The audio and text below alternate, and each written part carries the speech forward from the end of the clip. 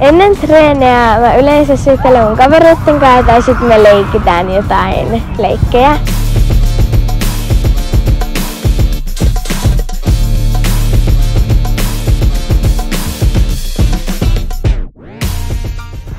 No jos kaveri epäonnistuu, niin me sanotaan aina, että ei se mitään, ensi onnistuu ja sitten aina tsemppataan sitä kaveria.